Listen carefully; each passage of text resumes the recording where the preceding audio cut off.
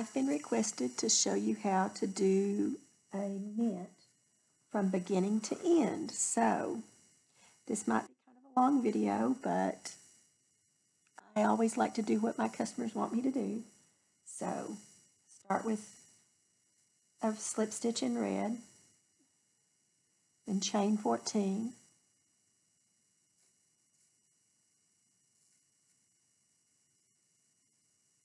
Ten, eleven, twelve, thirteen, fourteen. Then inserting the hook in the fifth from the fifth chain from the hook. One, two, three, four, five.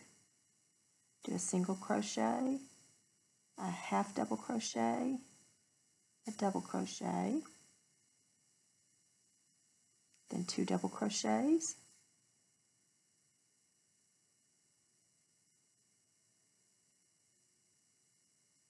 then a double crochet, making me nervous, then a treble crochet, I mean then two treble crochets in the same stitch actually, then one treble crochet, and then the cluster stitch, which is two over, and that one, and then that.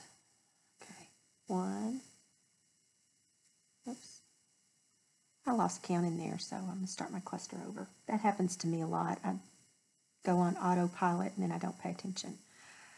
So wrap two around the hook, put it in, pull up a loop, and go through twice. So I have two loops on the hook. Then two round like you're doing a treble, insert the insert and pull up and just go through one. So now I have four loops and then just pull up one and I should have one, two, three, four, five, six on the loop on the hook and do through two. That's one, two, three, four, five.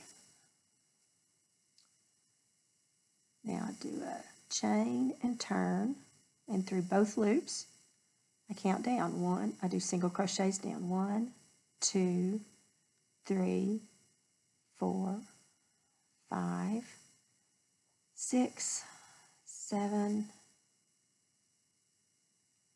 eight, nine, ten. Now I'm going to change colors. So I insert the hook in the circle, pull up the red. Now I'm going to get my white and pull the white through and then I do a chain and turn and working in the back loops only. Do a single crochet, half double crochet, double, two doubles, another double, two trebles,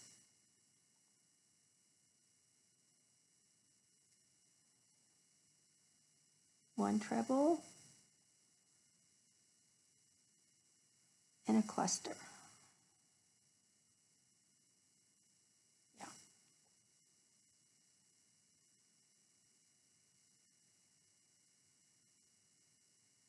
One, two, three, four, five. Chain one and turn. Single crochets one, two, three, four, five, six, seven, eight, nine, ten. Now I'm going to change colors. Put, it in there. Pull up the white. Now I always fold, just to make it easier, I fold the white back, the white string back, and then I pick up the red again and pull it through and chain one and then I'm going to start going back up again. I'm going to pause it until I get six reds and six whites done.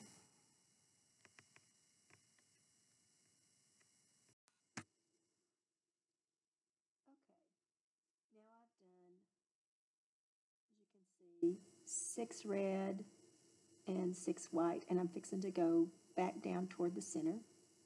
So I've already made my chain. Now, one, two, three, four,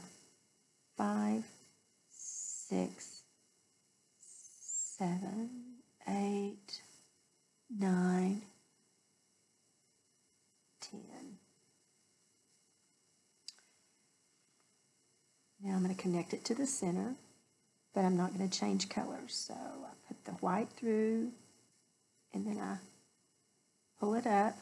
I'm going to go ahead and cut my red yarn to get it out of the way. Cut my, sorry, cut my red yarn to get it out of the way. Now I'm going to connect the sides. Turn it with the right sides together. You see that? And I count to make sure I do 10 stitches. So I go through the red first and the back loop of the white. That? Pull it through and I single crochet. One. I go in and through the back of the, this one. Two. Back loop. Three. Four.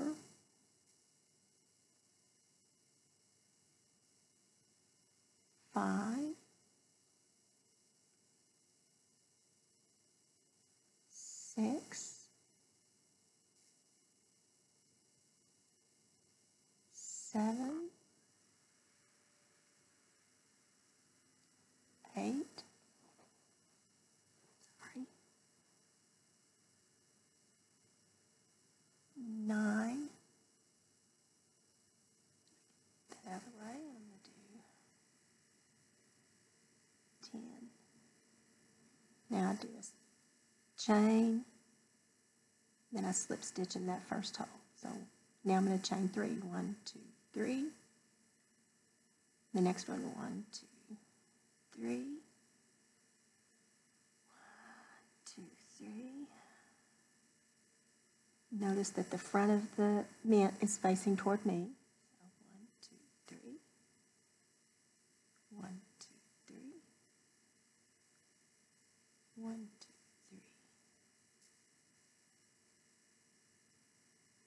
One, two, three.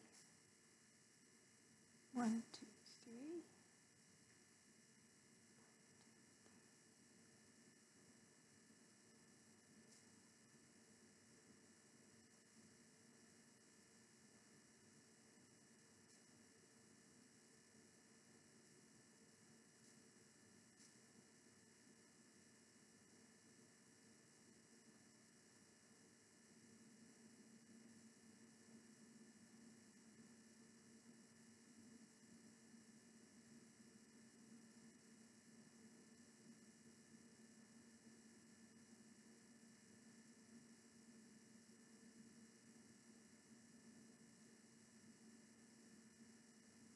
The last one, not chain, chained.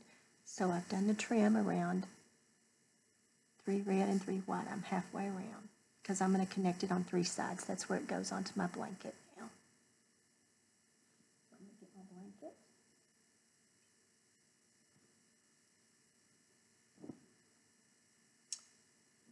And I'm on my last row of this blanket. So it's going to go right here. You can see it. But I'm doing my last row right here. So I have one, two, three more mints to do, and then I'll start doing the border. But here's the here's where I'm going to put it. Wrong sides together. Wrong sides together.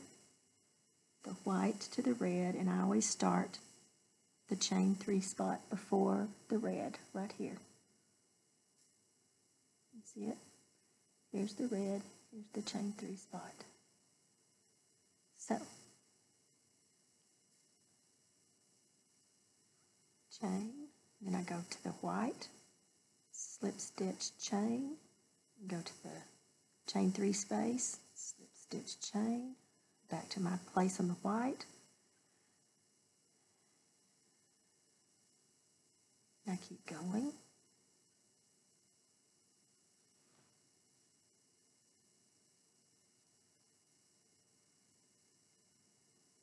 Connecting the red to the white.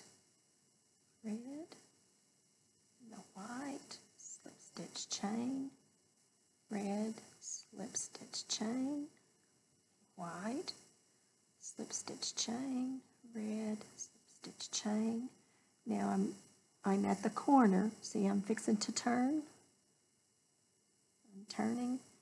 I always like to connect it to over here. See how that red, the one right before that red?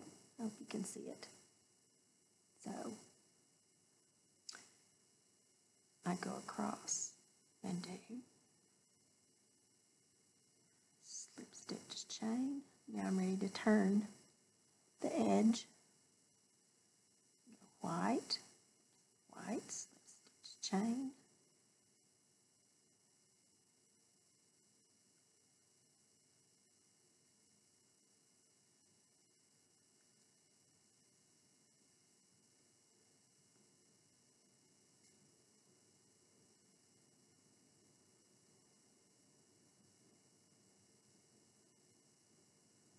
I'm in the last one on that red, fixing to turn another side.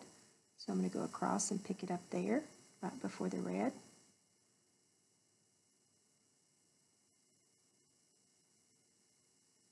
Now I'm on my last two stripes. Chain, slip stitch, chain, slip stitch, chain.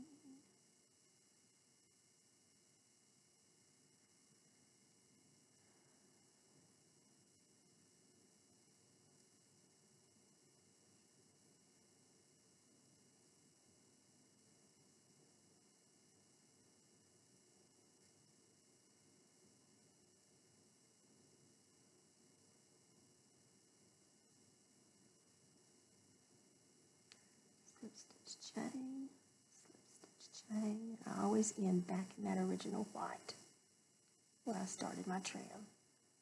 Pull it up. Scissors are somewhere around here.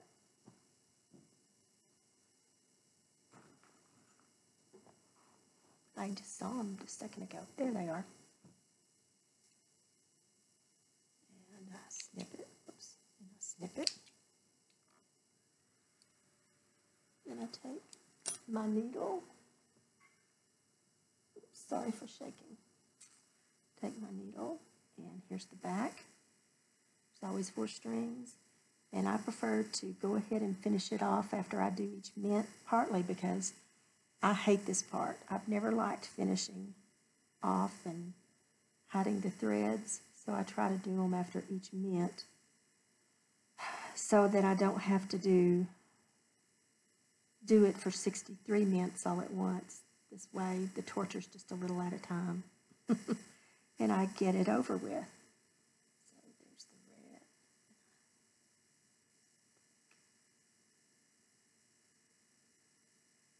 This red in there. This white, my last white, what I like to do, and you don't have to do it, this is just my little thing, and it's not in the instructions at all because there's red and white stripes around here on this last white thread, I usually wind it through the red like this so that it kind of looks like the other stripes. And then I finish it off.